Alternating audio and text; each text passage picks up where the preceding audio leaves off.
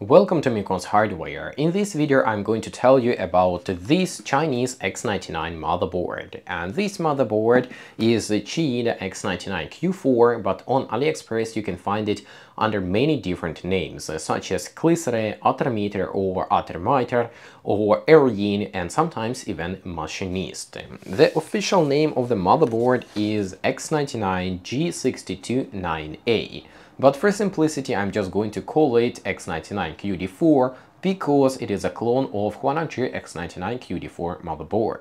The motherboard uses desktop chipsets such as B85, Q87 or Z87. We also have full quad-channel memory configuration and lots of connectivity, PCI Express X16, X4, two M.2 slots for NVMe SSDs and an extra M.2 slot for Wi-Fi Bluetooth adapters. Of course, we also have a few SATA and USB ports, so the motherboard will be interesting for those who are looking for a tight package on a budget where you can pack your motherboard into a micro ATX chassis with lots of connectivity.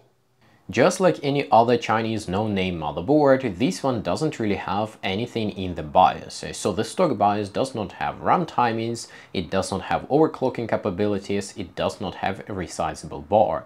But since the motherboard is a clone of Huananzhi X99QD4, we can use any other BIOS that's compatible with the Huananzhi version. In my case, I have used my modified BIOS for X99-8MF from Huananzhi, and that BIOS has unlocked RAM timings configuration, I have also injected resizable bar support, and it is possible to pick different modifications if you need Turbo Boost unlock. So all in all, for you, you can just use uh, my Mi 899 application, flash the desired BIOS, and enjoy. Additionally though, I have also tested commercial BIOS from BIOS iEngineer developed for Machinist X99 RS9 motherboard. According to him, these two motherboards are almost identical and the BIOS shall be compatible. Compared to the Huananzhi BIOS, this commercial BIOS from iEngineer boots up much faster, it does not support legacy CSM configuration, only modern UEFI, and what's important, it enables overclocking of unlocked CPUs using Intel XTU from Windows. Unfortunately though, testing with my i7-5820K, even though I can adjust its settings using Intel XTU, the clock frequency doesn't stick. After about 30-60 seconds of stress test, my i7-5820K drops its frequency back to 3.6 GHz and stays there. I have tried multiple different options, I have also consulted BIOS iEngineer, and we were not able to solve the problem. It could be that the motherboard is not fully compatible with that BIOS, but it also could be that there are some other unknown factors which I could not identify. So even though overclocking options are enabled in Intel XTU and it is possible to adjust them, the overclocking is not really working with i7-5820K with this particular motherboard. And speaking about 5820K, this CPU has only 28 PCI Express lanes, and just like any other Chinese X99 motherboard, this Qiyida X99QD4 has raw PCI Express routing. This means that the PCI Express X16 slot works as X8 and only the last PCI Express lanes are connected, which means that graphics cards that have X4 or X8 connectivity are not detected. For example, RTX 4060, RX 6600 or RX 7600 are not detected with i7-5820K. Additionally, PCI Express X4 slot is also disabled, so all in all, from 28 available lanes, we have only 16, 8 for the PCI Express X16 slot and 4 for each of the M.2 slots. This limitation is pretty annoying, but it is not a disaster because most of you will use a Xeon CPU that has all 40 PCI Express lanes and then everything works as it should. A part of the overclocking issues, Qiyida X99QD4 comes with all set of the Chinese defects, and that means that sleep mode doesn't work, temperature and power consumption sensors are wrong, and the smart fan works with just one fan header, the main one for the CPU cooler, and only if you connect a 4-pin PWM fan. If you connect 3-pin fan, then the fan will be rotating at 100% speed.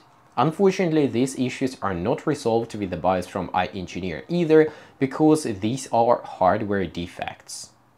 One extra issue was detected with the audio codec. If you use the default Windows driver, the audio works just fine, the sound quality is okay. But in my case, I also need the audio mixer to output audio in two devices simultaneously. For example, when I do game recording, I want to hear audio in my headset, but I also want to send it to my video capture card, so the game recording is with the sound. I cannot use sound from the video capture card because it has delays. In that case, I need to install Realtek drivers to enable the audio mixer. And with the Qiyida X99QD4 motherboard, that's not possible. I tried to install the official Realtek drivers, but for some reason they failed with an error. After some digging, I have figured out a solution how to manually install drivers and get the full functionality of the Realtek chip, and of course in the video description you will find a download link for this solution. A few words about VRM or power delivery system of this Qiyida X99QD4. The motherboard is a clone of Huananzhi X99QD4, so the VRMs are identical and the performance is also identical. If you use a Xeon E5 V4, then I would not worry at all, it is pretty much okay with any of the V4 Xeons.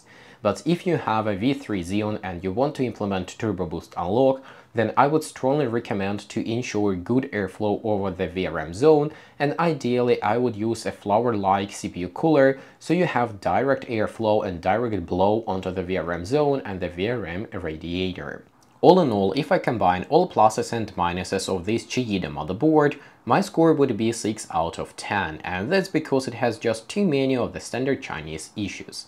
Nevertheless, if the price is right, you can still have this motherboard if you need all the connectivity.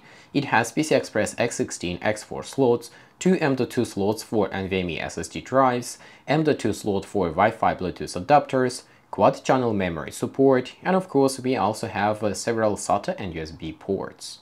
If the stock BIOS is not good enough for you, then you can use Mi899 to flash Huananzhi modified BIOS with RAM timings, Turbo Boost unlock and resizable bar enabled. And with this I have to say, thanks for watching, thanks for listening, I hope it was helpful and useful. Bye for now.